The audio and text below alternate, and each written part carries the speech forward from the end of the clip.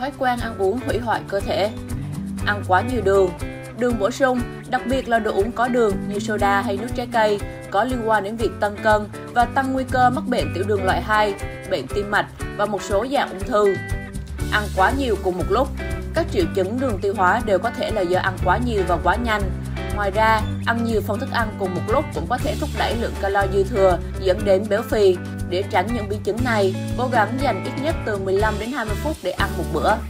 Ăn quá muộn nếu ăn quá gần giờ đi ngủ, bạn có thể gây hại cho cơ thể. Ngoài ra, ăn đêm có liên quan đến ăn vô độ, vì vậy cố gắng không ăn trong vòng 2 giờ trước khi đi ngủ. Lựa chọn thực phẩm và đồ uống quá chua những món ăn quá chua như soda và cà phê, thậm chí là trái cây có tính axit cũng góp phần làm cho sức khỏe răng miệng kém và làm tăng sự xói mòn răng. Ăn quá nhiều mỡ động vật, chất béo từ các nguồn động vật có thể phá hủy cơ thể của bạn nếu tiêu thụ quá mức.